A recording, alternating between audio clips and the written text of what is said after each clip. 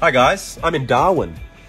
Um, as you all know, I'm not really one for self-promotion, but I am on the cover of Men's Health magazine. Um, look, I'm ripped, literally. Uh, I thought I'd do a Q&A because I've had a lot of questions over the past few weeks, and by a lot I mean six. So if you have anything related to the challenge whatsoever, which was eight weeks, then bring on your questions now. Return of the That's a good pun. Well done, guys. Oh, what's that? It's a nab.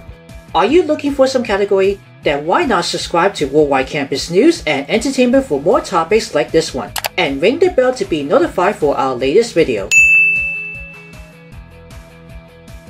Okay, let's get started. But first, you've got a lamp, you've got a ring light. Hi, Beck. Most of the questions so far are diet related, and yes, it is a huge part of it. A very wise man once said, You can't outtrain a bad diet. This is an average day for me. I'll give you a few seconds to get a screenshot. Dum, dum, dum, dum, dum, dum, dum, dum. Look, I just don't think I need one, Gary. And I don't want to sound arrogant, but genetics and my parents blessed me with this look, and that's why I'm on the cover of Men's Health, I guess.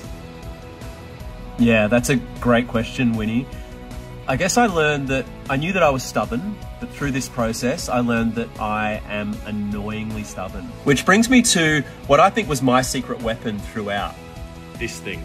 My darling Rebecca got me that for my birthday just in time for the challenge, and it really gave me a scoreboard. It held me accountable. So, Jono, my trainer, side note, you can never not sound like a wanker when saying trainer. Um, he's a legend. He gave me these goals for the Apple Watch. It was a lot. He said, You might not get it every day, but I'm competitive. I needed to close my rings every day. I needed to close my rings every day.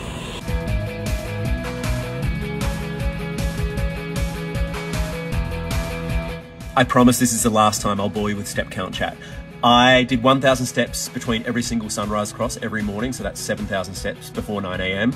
I did 8,000 steps on a flight from Sydney to Johannesburg for work. I trained in the Kruger National Park in an outdoor gym in 40 degree heat to ensure that I got my steps up. I did steps in hotel rooms at 10.30 at night, even though I had to be up at 4. I was obsessed with it. Probably a low point was doing laps around the Bunnings car park to ensure I got my steps for that day. It really happened.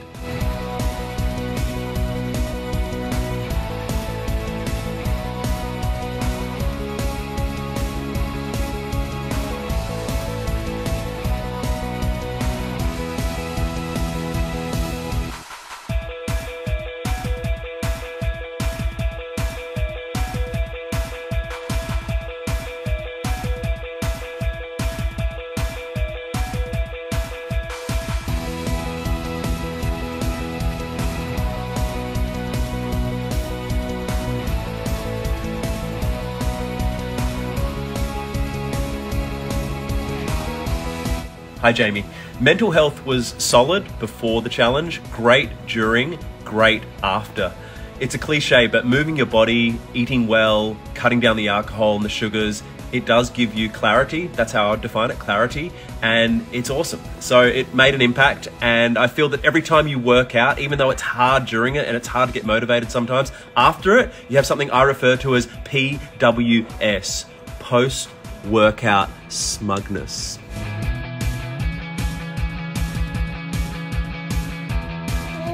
Say hi, Dada.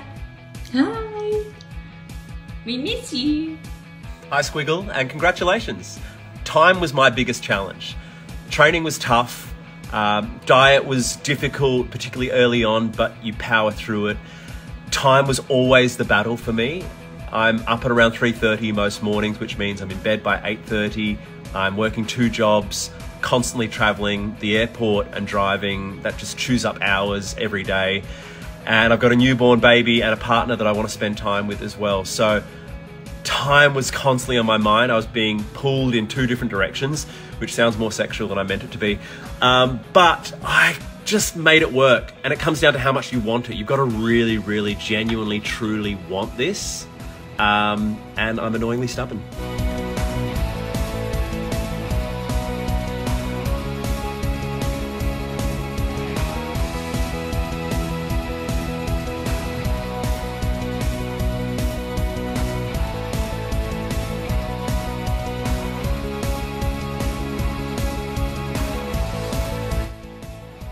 Did you enjoy this video?